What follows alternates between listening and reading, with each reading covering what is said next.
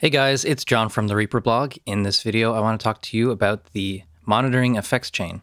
So the monitoring effects chain is a chain of plugins you can insert after your master fader. And this allows you to uh, manipulate the sound or visualize the sounds that you're hearing without affecting your mix. You use metering plugins, frequency analysis plugins, and uh, monitor or room calibration plugins.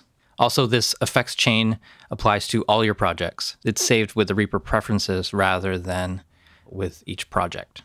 So uh, this is my monitoring effects chain here. I have the Klanghelm VU MT Solo.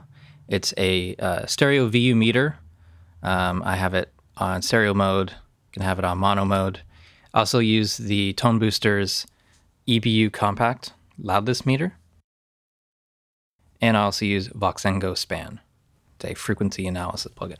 So if you use Arc2 from IK Multimedia, the monitoring effects chain is a great place to put it. The EQ curve that is being applied will not be applied to your actual mix, just what you're hearing. And you don't need to worry about remembering to turn it off before you render.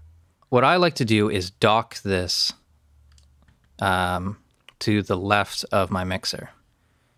So uh, just right click on this effects chain and then down at the bottom, dock effects window and Docker. And if it doesn't go to the left, then you can just click and drag this to wherever you like it.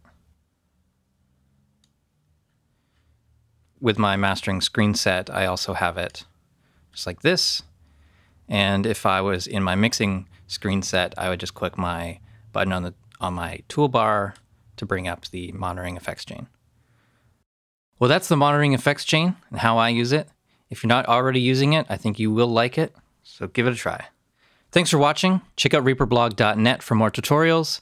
Like, share, and subscribe. Really appreciate it. Thanks a lot, guys. Bye.